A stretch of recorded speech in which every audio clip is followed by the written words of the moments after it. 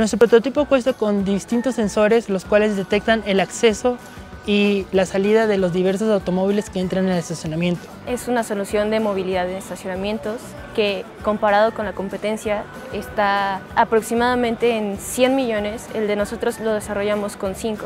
En conjunto con la Universidad de Berkeley obtuvimos el segundo lugar con nuestro prototipo de estacionamientos inteligentes.